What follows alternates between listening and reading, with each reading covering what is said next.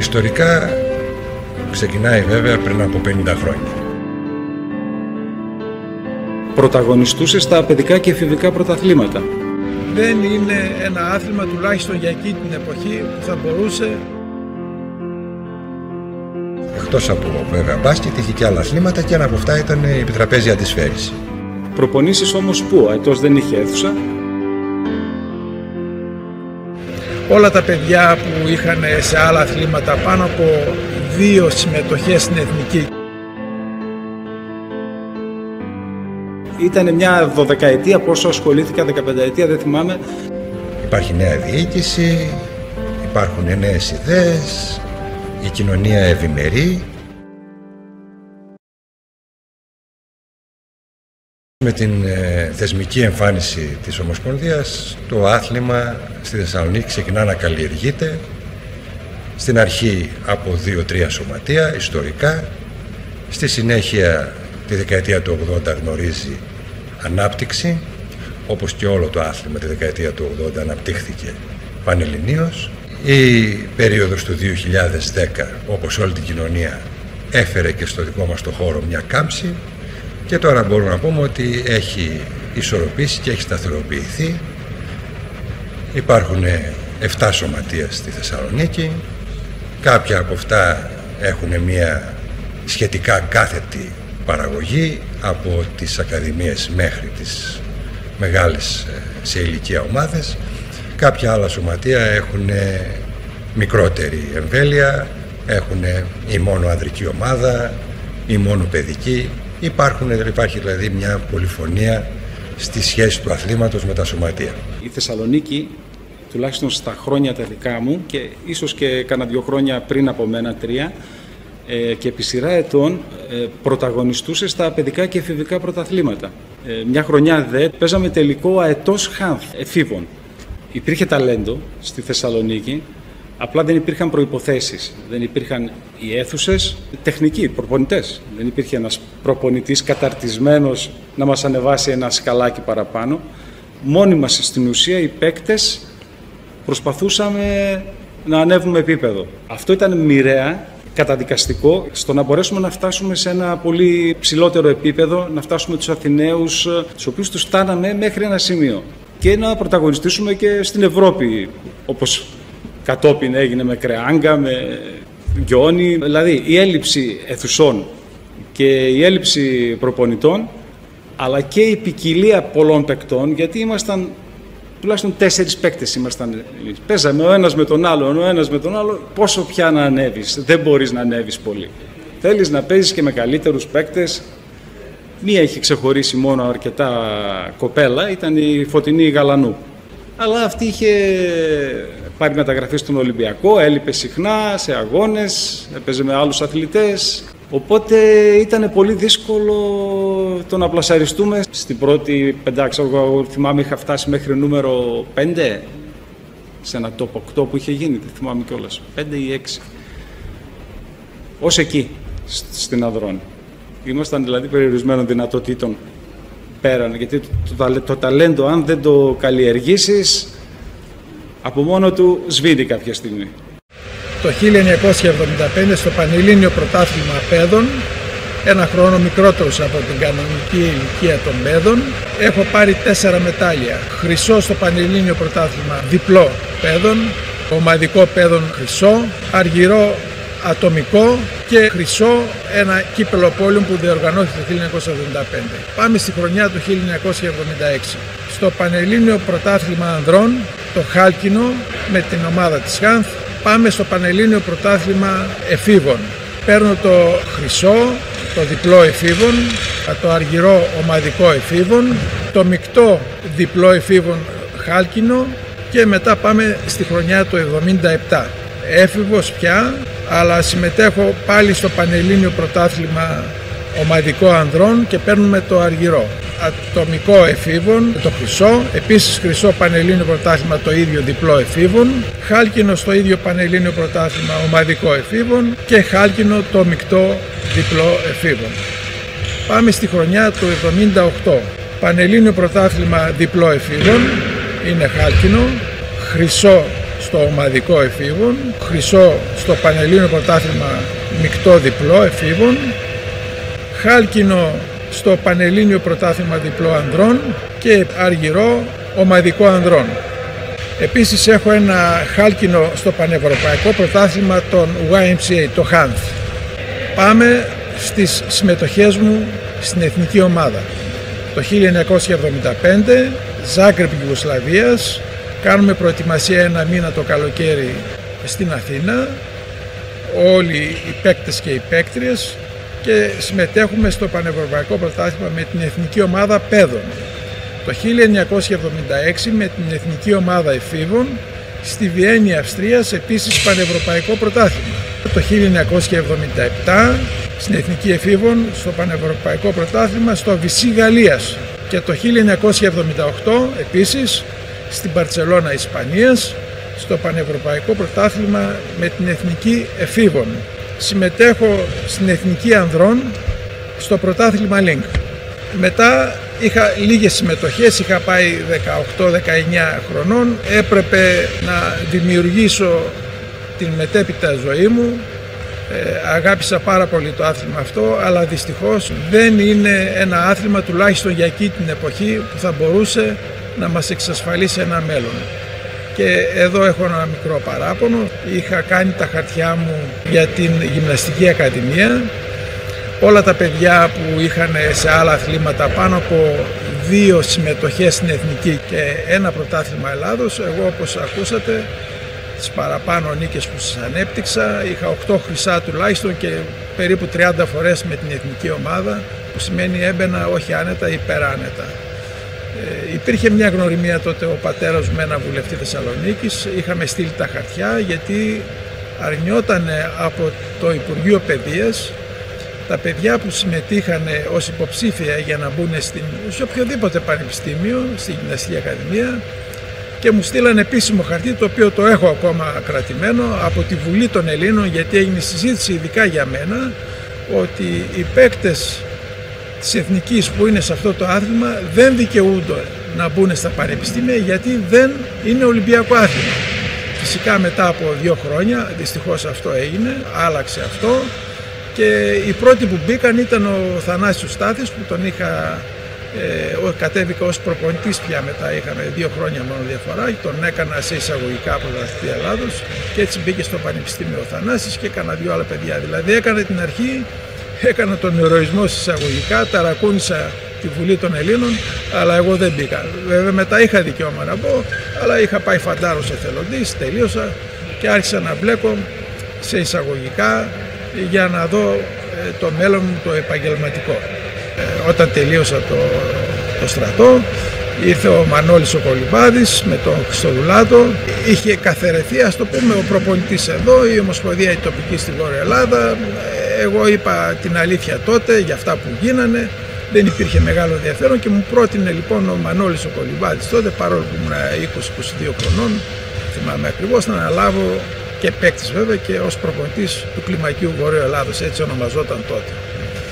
Ε, με ευγένεια ε, δεν το δέχτηκα παρόλο που είχαν δώσει πολύ πιο μεγάλη προσφορά σε εισαγωγικά έτσι, τιμή μου πάντα αυτό για να μπορέσω να μείνω στο άθλημα. Ε, ήδη είχα ξεκινήσει εγώ, με, εργαζόμουν σε διάφορα καφέ, εστιατόρια, μπαρ, έκανα τα πρώτα μου χρήματα και άρχισα πια να φτιάχνω τα δικά μου μαγαζιά. Άρα δεν μπορούσα να κάνω και τα δύο. Δεν ήταν σωστό και δεν ήθελα να κορυδέψω κανένα και προτίσω στον εαυτό μου. Έπρεπε να επιλέξω ένα από τα δύο. Ξεκίνησα την αθλητική μου καριέρα ως αθλητής του μπάσκετ. Με βοηθούσε ο σωματότυπος, το ύψος, απέναντι σε μια οικογένεια η οποία δεν είχε καμία καταβολή με αθλητισμό. Δεν ξέρω ποιο είδος ενδοσκόπησης. Με έκανε να θέλω να ασχοληθώ με αθλητισμό και έτσι κατέληξα στην Χριστιανική Αδελφότητα Νέων Θεσσαλονίκης να παίζω μπάσκετ. Δωρεάν τα πάντα τότε, βέβαια, γιατί και οικονομικά δεν υπήρχε καμία δυνατότητα και όλα ήταν δωρεάν και αυτό κράτησε περίπου στη ζωή μου τότε, στην ηλικία των 13 ετών, ένα εξάμεινο. Εκεί λοιπόν, σε αυτή τη σύντομη καριέρα, η Χάρθ, εκτός από βέβαια μπάσκετ, είχε και άλλα αθλήματα και ένα από αυτά ήταν η επιτραπέζια αντισφαίριση. Είχε έναν προπονητή τότε που έλεγε ότι είναι προπονητής. Η ίδια η ΧΑΝ δεν τον αναγνώριζε, αυτός από μόνος του είχε βαφτίσει τον εαυτό του ως προπονητή. Αυτός λοιπόν ερχόταν και παρακολουθούσε την προπόνηση του μπάσκετ και κάθε φορά που τελείωνα και ολοκλήρωνα την προπόνηση μου έλεγε ότι θέλω να έρθεις να παίξεις πικ Η σχέση με το πικ σε επίπεδο θέασης ήταν στην πρόνοια, βασιλική πρόνοια, η οποία είχε ένα τραπέζι ξύλινο νοβοπάν και παίζαν τα παιδιά εκεί με κάποιες ρακέτες με φελό. Και αυτό έβλεπα και δεν, δεν είχε κανένα ενδιαφέρον βέβαια ως θέαμα. Μετά από την επιμονή αυτού του προπονητή τότε μέσα αγωγικά, με έπεισε να πάω να παρακολουθήσω μία προπόνηση και τότε είδα κάτι το οποίο ε, στα παιδικά μάτια ήταν πολύ περίεργο γιατί ήταν ένα τραπέζι επαγγελματικής για τότε κατάστασης και υπήρχαν δύο αθλητές οι οποίοι έπαιζαν το άθλημα έτσι που δεν είχα ξαναδεί ποτέ να το παίζω. Άφησα το μπάσκετ και ξεκίνησα να ασχολούμαι με την επιτραπέζια της φέρηση. Αυτά στα 14. Ένας άλλος προπονητής λοιπόν εμφανίστηκε εκεί, ο οποίος στην επικοινωνία μας μου είπε ότι εγώ ήμουν πάντα ο πραγματικός προπονητής και αυτός ήταν εν είδη, ήθελε να, το, να, να παίζει αυτό το ρόλο. Ο Χρήστος ο Τριγωνάς, με τον οποίο περάσαμε πάρα πολλά χρόνια στη ζωή μας από εκεί και πέρα. Παρέλειψα δεν να πω ότι ύστερα από ένα πολύ μικρό χρονικό διάστημα ενός δύο μηνών με το άθλημα, ο πρώην προπονητής, ο πρώτος να το πω έτσι, μου είπε ότι μου ταιριάζει να παίζω με πιάσιμο pen holder, το κινέζικο ας πούμε, στην απλή καθομιλωμένη. Και έτσι έπιασα τη ρακέτα, αγόρασα και μια ρακέτα τέτοια, δεν θυμάμαι, φρεμιά ήταν πάρα πολύ φτηνή και ξεκίνησα να παίζω λοιπόν pen holder και το πρώτο πανελληνίο πρωτάθλημα το οποίο συμμετείχα στο Παπαστράτιο ήταν με pen holder το οποίο με εκείνη την πορεία των έξι μηνών που συμμετείχα στο Πανελλήνιο Πρωτάθλημα κατόρθωσα και μπήκα στους 8 καλύτερους αθλητές της κατηγορίας εκεί. Επιστρέφοντας λοιπόν από το πρωτάθλημα, ήδη ο Χρήστος Τριγωνάς βέβαια ασχολούταν ως προπονητής, μου είπε ότι καλό μου παιδί, εγώ δεν ξέρω με αυτό το πιάσιμο ρακέτας τι συμβαίνει με το, ούτε γνωρίζω να σε βοηθήσω. Πρέπει λοιπόν να πάρεις μια ρακέτα κανονική, να πιάσεις στο ευρωπαϊκό στυλ παιχνιδιού και έτσι να συνεχίσουμε την προπόνηση. Η προπόνηση βέβαια πρέπει να μπει σε εισαγωγικά η λέξη. Εγώ από τη φτώχεια την καταραμένη δεν μπορούσα να αγοράσω καινούργια ρακέτα. Αυτή η ρακέτα που είχα είχε μικρότερη λαβή εξαιτίας του πιασίματος και έτσι με ένα πριόνι που είχαμε για τη χειροτεχνία στο σχολείο έκοψα τις άκρες από τη ρακέτα ώστε να, να περισσέψει πιάσιμο στη λαβή και να μπορώ να την πιάνω με ευρωπαϊκό στυλ και να παίζω έτσι μέχρι μπορέσω, μπορέσω να πάρω μια μεταχειρισμένη από κάποιον άλλον. Και αυτό το πράγμα εν πάση περιπτώσει οδήγησε στην επόμενη χρονιά. Φτάσαμε το 1978 και κατέκτησα το Πανελλήνιο Πρωτάθλημα ως πέδας. Αυτό διέγραψε από τον ενθουσιασμό οποιαδήποτε άλλη σκέψη για άλλο άθλημα, είτε μπάσκετ, είτε κολύβηση, είτε βόλεϊ, λόγω του ύψους που υπήρχε. Θεώρησα ότι βρήκα το νόημα της ζωής και συνέχισα την καριέρα μου μέσα στην επιτραπέζια της Φέρηση, η οποία συνεχίστηκε μετά ως ε, έφηβος με την ομάδα τη Χάνθ Πάντα. Κατακτήσαμε ένα πανελλό πρωτάθλημα ως έφηβη, ομαδικό, κάποιες δεύτερες θέσεις, κάποιες τρίτες. Καλοί παίχτες στη Χάν, τότε μάλιστα, κοντά στη ηλικία μου, όπως ο Θανάσης ο Βάκουλης, όπως ο Τούσης ο Νίκος. Το πρώτο που θεώρησα ως αθλητής, στη σχέση με το άθλημα την πρώτη διετία, τριετία, ήταν ότι αυτό το άθλημα παίζεται μόνο σε ένα χώρο, σε μια περιοχή. Νόμιζα ότι αυτό συμβαίνει, έτσι το θεωρούσα ότι ήταν θέσφατο. Ότι το άθλημα παίζεται στον Πειραιά, στο Παπαστράτιο. Δεν μπορεί να παιχθεί πουθενά άλλο. Ήταν δεδομένο και εντελώς λογικό. Και μάλιστα, επειδή εμείς πηγαίναμε σχολείο και Σάββατο τότε, έπρεπε να τακτοποιήσουμε να δούμε τι θα γίνει με τις απουσίες του Σαββάτου, γιατί έπρεπε να φεύγουμε Σάββατο πρωί για να φτάσουμε Σάββατο απόγευμα στην Αθήνα και να πάμε Κυριακή να παίξουμε τους αγώνες, οι οποίοι 99% φορές ήταν μια Κυριακή μόνο, από την Κυριακή πρωί μέχρι Κυριακή απόγευμα και μάλιστα ε, είχε αποτυπωθεί και στη μνήμη μου Παπαστράτιο ήταν μια περιοχή που ήταν γύρω-γύρω μόνο μηχανουργία. Δεν είχε τίποτα άλλο. Δηλαδή δεν είχε να πάρεις να φας ε, σάντουιτς, δεν είχε καφέ, δεν είχε τίποτα. Ούτε πορτοκαλάδα ή λεμονίτα ήταν και το, το ωραίο που ακούγαμε. Νόμιζα ότι λοιπόν το Παπαστράτιο είναι σε μια περιοχή έρημη, επειδή όταν πηγαίναμε Κυριακή πρωί ήταν τα πάντα κλειστά, τα μηχανουργία ποιος θα δουλέψει Κυριακή πρωί, ήταν όλα κλειστά. Και νόμιζα ότι το Παπαστράτιο λοιπόν είναι σε μια περιοχή ερυπωμένη και ότι επιλέχθηκε αυτή η περιοχή ειδικά επειδή δεν έχει τίποτα άλλο γύρω-γύρω. Θυμάμαι ένα στιγμιότυπο που πηγαίναμε για αγώνες Κυριακή πρωί. Ε, είχαμε πάρει το αεροπλάνο λοιπόν αρκετά πρωινό.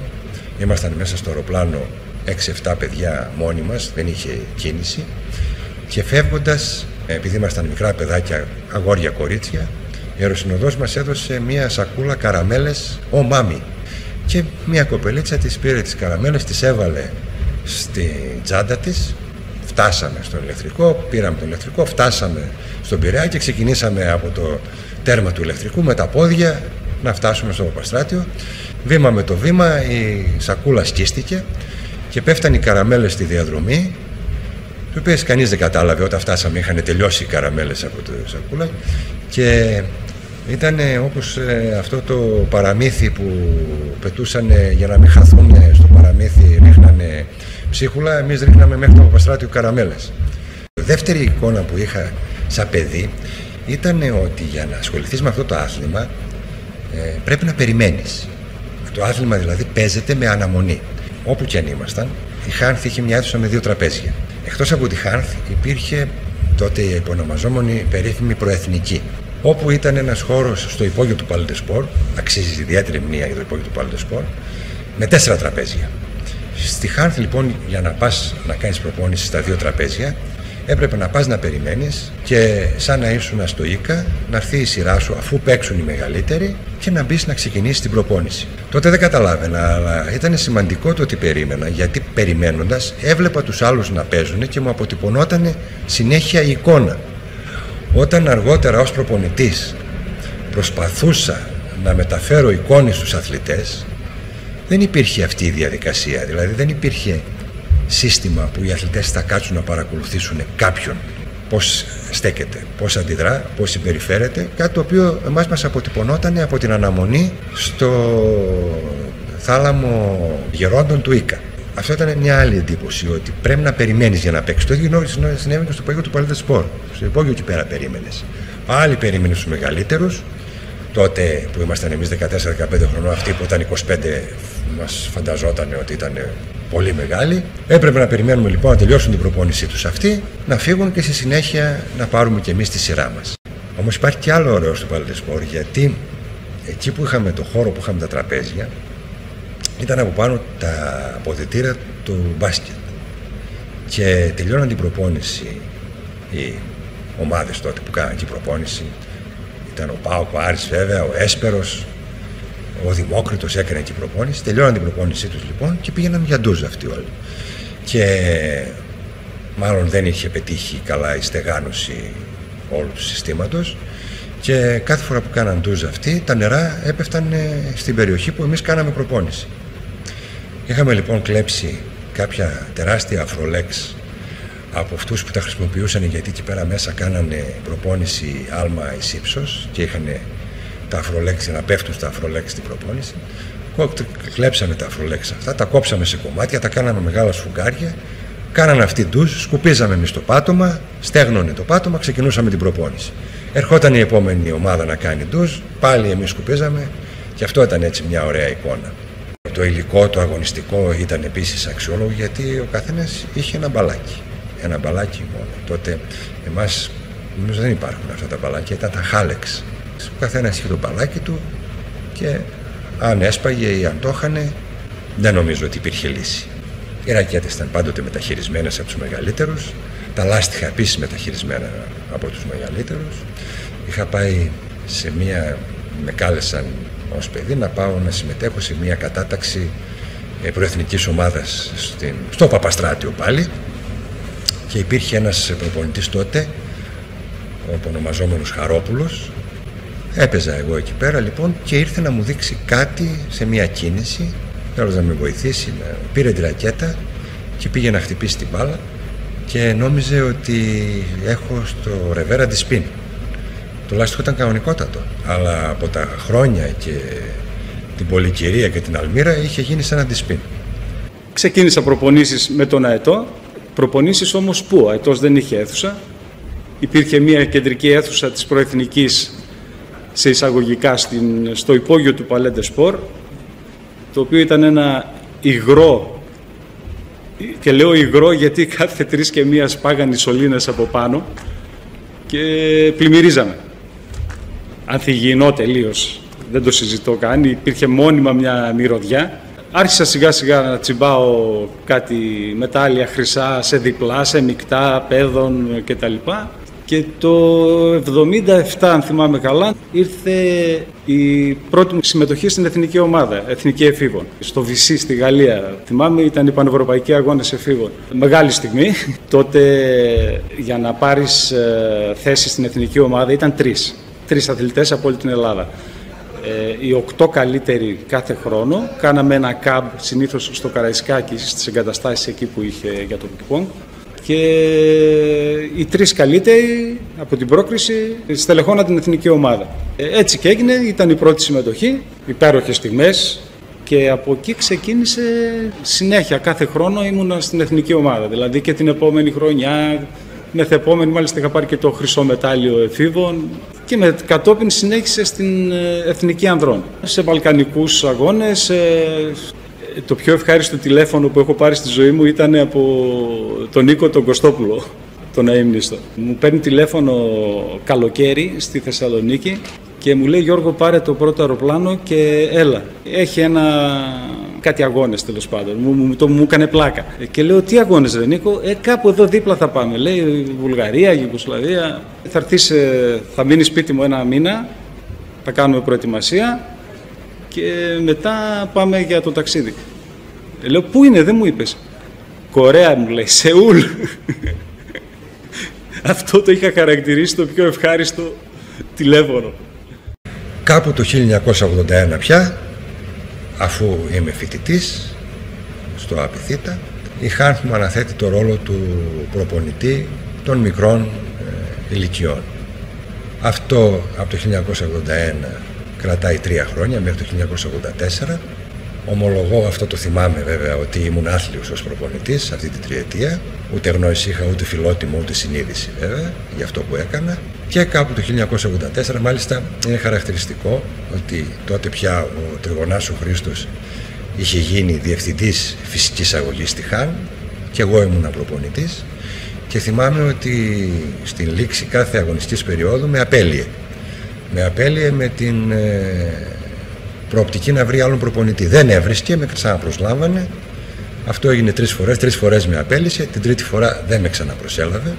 Ε, ενώ πια αξίζει να πω έτσι ως ε, ρομαντική εικόνα ότι ήμασταν και σε αυτήν όλη τη διαδικασία μου που προσλάβανε και με απέλυε, ήμασταν και συγκάτοικοι, μέναμε στο ίδιο σπίτι μάλιστα και ήμασταν και συναθλητές, στην, παίζαμε στην Αλφα Εθνική τότε.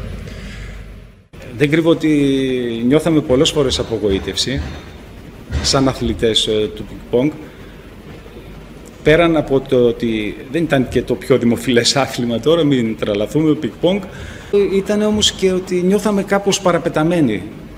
Τώρα επανέρχομαι πάλι στην αίθουσα του πινκ της Προεθνικής, η οποία πέραν του ότι ήταν ανθυγιεινή και αντιαθλητική τελείως, ε, ήταν κλειστή και για δύο-τρεις μήνες το χρόνο λόγω του ότι ήταν η διεθνής έκθεση Θεσσαλονίκης και κάτω ήταν έκθεση αυτοκινήτων. Δεν κατάλαβα γιατί έπρεπε να είναι τρεις μήνες κλειστή για 15 μέρες της έκθεσης. Στη Θεσσαλονίκη το άθλημα εκείνη την εποχή είναι φυσικό ότι δεν ήταν διαδεδομένο σαν άθλημα, ε, υπήρχε σαν άθλημα του καφενείου. Δηλαδή ε, σε οποιαδήποτε καφέ Υπήρχε μπιλιάρδο, πινγκ-πονγκ, άντε και μετά κάνα ηλεκτρονικό όταν ξεκινήσανε. Βλέποντας εμείς και συγκρίνοντας αθλήματα, δηλαδή ξαφνικά βλέπεις ένα Γιώργο Κούδα, ξέρω εγώ, ένα Σαράφη να τρέχουν, να υπογράφουν αυτόγραφα. Εμείς σαν πιτσιρικάδες λες, γαμώ το κι εγώ εθνική ομάδα είμαι. δηλαδή ένα, ένα ζήτο, ένα μπράβο, ένα παλαμάκι, κάτι. Δεν υπήρχε τίποτα. Οι αγώνες Η παρουσία μάλλον φιλάθλων σε αγώνες μας ήταν οι αθλητές που θα παίζαν τον επόμενο αγώνα από εμάς. Δεν υπήρχαν φίλαθλοι. Άντε και ερχόταν και κάνα φίλος από εμάς. Γονείς τότε δύσκολα ερχόταν σε τέτοια, πορευμένοι από τις δουλειές τους, άλλες νοοτροπίες, άλλες εποχές. Ένα πατέρας μου, ας πούμε, ήρθε μία φορά για δυο λεφτά, μια Κυριακή και ε, δεν ξαναείδε ποτέ. Τι έκανες ρε, που πήγες, ούτε ήξερε που είμαι. Το μόνο που θυμάμαι έτσι ευχάριστα και ότι ασχολήθηκε μαζί μας ήταν ο έφορος που είχαμε, ο κύριος Κατσούλης στον Αετό, θα μιλήσω σωματιακά. Δεν είχε βγει κάποιος μπροστά για να ανεβάσει το άθλημα, να το καλύψει. Ουσιαστικά ήμασταν μόνοι οι αθλητές. Ήμασταν μόνοι, συνεννοούμασταν μαζί μεταξύ μας, προσπαθούσαμε να το ανεβάσουμε. Ας πούμε, είχε γίνει ένα πανευρωπαϊκό των Χάμφ. Καθίσαμε μόνοι μας, πήγαμε σε μαραγκό, κάναμε ξύλινες ρακετούλες μικρές για να τους δώσουμε αναμνηστικά.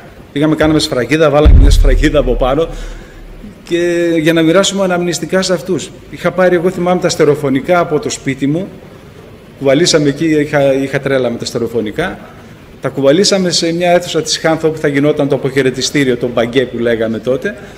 Εμείς οι αθλητές, αυτό θέλω να πω, δεν είχε κάποιος που να μπει μπροστάρης. Όταν μας έγραφε καμιά φορά η εφημερίδα, ήταν ε, γεγονός μεγάλο. Δηλαδή, ε, μέσω γνωστών και πάλι ε, είχα δώσει συνέντευξη. Πώς, τι συνέντευξη να δώσει ένας πιτσιρικάς 16 χρονών. Το είχε βάλει στα, στα σπορ του Βορρά τότε, που ήταν η πιο δημοφιλής εφημερίδα της Θεσσαλονίκης, αθλητική.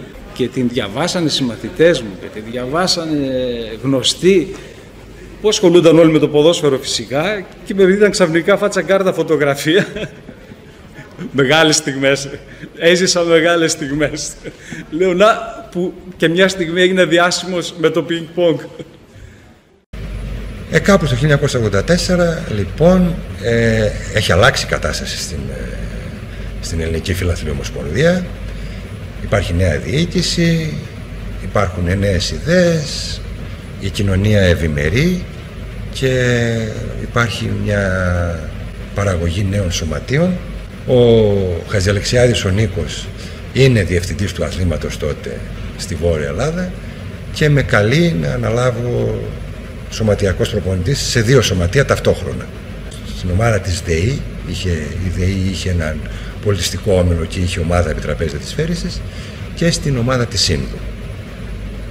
Στην ομάδα της ΔΕΗ είχα μία σύντομη πορεία γιατί και δύο καρπούζια σε μια μασχάλη δεν χωρούσαν δύο ομάδες μαζί σε ένα προπονητή ε, μια σύντομη πορεία η οποία κράτησε μια διετία, τριετία, όμως στην ομάδα της Σύνδου, την οποία την ξεκίνησα από το 0, ε, κράτησε από το 1984 μέχρι το 1995, 11 χρόνια, με μια διακοπή δύο ετών που έπρεπε να πάω στο στρατό και το 1995 1996 τελείωσε η σωματιακή μου καριέρα ως προπονητής.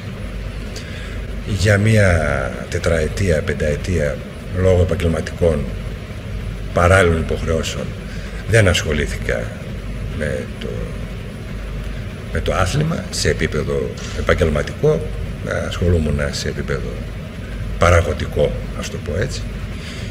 Και αυτό κρατάει μέχρι το 2001, όπου το 2001 πια ε, προσλαμβάνομαι στην Ομοσπονδία ως Ομοσπονδιακός Προπονητής στην, στο κλιμάκιο Βόρειας Ελλάδας μία θητεία η οποία κράτησε μέχρι το 2013. Το 2013 διακόπηκε πάλι για προσωπικούς οικογενειακούς λόγους για μία διετία, ξανάρχισε το 2015 και φτάνουμε μέχρι τις μέρες μας. Αυτή είναι η σύντομη ιστορία 45 ετών. Τα πιο ανέμελά μου χρόνια ήταν τα χρόνια του πινκ-πονγκ ε, υπέροχες στιγμές με συναθλητές, φιλίες, οι οποίες υπάρχουν και τώρα, εμπειρίες, γιατί ξαφνικά ένας ε, νέος ε, πιτσιρικάς το 75-76 όταν ξαφνικά από εκεί που μας πηγαίναν με τρένα στην Αθήνα ή σε αγώνες ξαφνικά υιοθετήθηκε το αεροπλάνο. Να μπαίνουμε σε αεροπλάνο τότε ήταν μεγάλη υπόθεση για οποιονδήποτε πιτσιρικά. Οι φίλοι με κοιτούσαν με θαυμασμό επειδή ανέβηκα σε αεροπλάνο, όχι επειδή ήμουν πρωταθλητής Ελλάδος του πιππόγκ. Οι εμπειρίες απίστευτες στιγμές γέλιου, με όσα δύσκολα συμβαίνουν ακόμα και σήμερα, αν κλείσει τα μάτια κάποια στιγμή, χαμογελάς.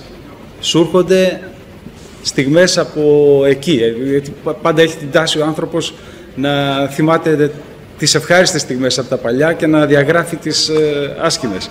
Λοιπόν, ήταν μια δωδεκαετία, πόσο ασχολήθηκα, δεκαπενταετία, δεν θυμάμαι, ανέμελη και ευτυχισμένη. Δεν μπορούμε να πούμε ότι το άθλημα στη Θεσσαλονίκη αυτή την εποχή ζει τις καλύτερες στιγμές του. Υπήρχαν πολύ καλύτερες εποχές, με μεγάλη παραγωγή παιχτών. Υπάρχει όμως και ε, μια αιτιολογία, η οποία δεν είναι δικαιολογία, είναι ότι υπάρχει σχετική ένδια ή πολλές φορές και απόλυτη ένδια σε προπονητικό δυναμικό. Λείπει ο καθαρός επαγγελματίας προπονητής από την πόλη της Θεσσαλονίκης. Δεν ξέρουμε αν είναι θέμα επιλογών, αποφάσεων ή ε, βημάτων που έκαναν φορείς, θεσμοί, διοικήσεις. Όμως δεν κατορθώσαμε να παράγουμε προπονητές ακαδημαϊκούς μέσα από την επιστήμη της φυσικής αγωγής οι οποίοι θα ασχολούνταν με το άθλημα σε επαγγελματικό επίπεδο και έτσι το σύνηθες είναι στην Θεσσαλονίκη τα σωματεία να καλύπτονται από εμπειρικούς και εμπειρογνώμονες προπονητές.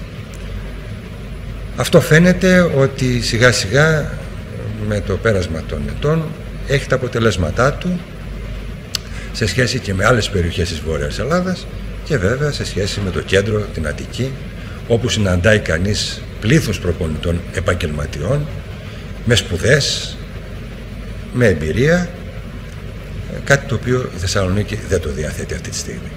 Λείπει αυτή η αναλογία γιατί υπάρχουν συγκυρίες και υπάρχουν και αδιέξοδα. Μία πάγια κατάσταση είναι ότι το τμήμα επιστήμης φυσικής αγωγής του ΑΠΙ ποτέ ε, δεν κατόρθωσε, δεν ε, το διεκδίκησε ο χώρος να έχει ε, ως ειδικότητα το άθλημα.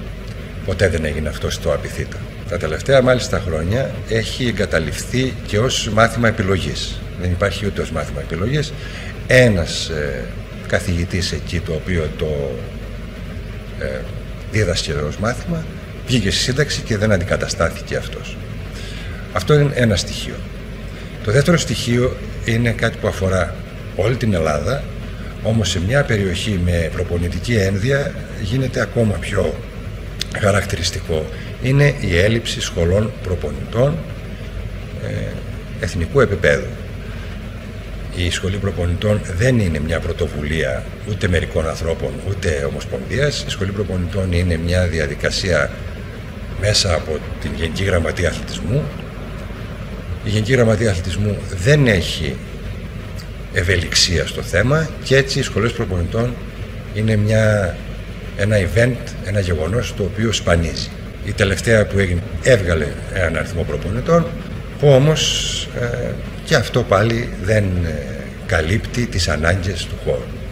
Οι επιμορφώσεις είναι κάτι το οποίο πια ε, το συναντάμε μέσα στον χώρο της εκπαίδευσης οπότε έχει ξανασυμβεί παλαιότερα, όμως εκείνο που δεν υπήρχε ήταν ε, η τακτικότητα. Τώρα σχεδιάζει η διοίκηση να το υλοποιήσει αυτό σε τακτική μορφή και σε τακτική βάση. Μήπως ίσως και να αντιμετωπίσει το θέμα και της ε, προπονητικής στην Ελλάδα και στη Βόρεια Ελλάδα. Το έβδομο μέρος του ντοκιμαντέρ «Οι δικές μας ιστορίες» που θα παρακολουθήσετε στις 27 Σεπτεμβρίου θα είναι και το τελευταίο για αυτή τη χρονική περίοδο. Σε αυτό θα δούμε εννέα μεγάλες μορφές του αθλήματος να μας αφηγούνται προσωπικές τους στιγμές ή να μας μεταφέρουν τις δικές τους απόψεις από το χθες με στόχο το καλύτερο αύριο της ελληνικής επιτραπέζιας αντισφαίρησης.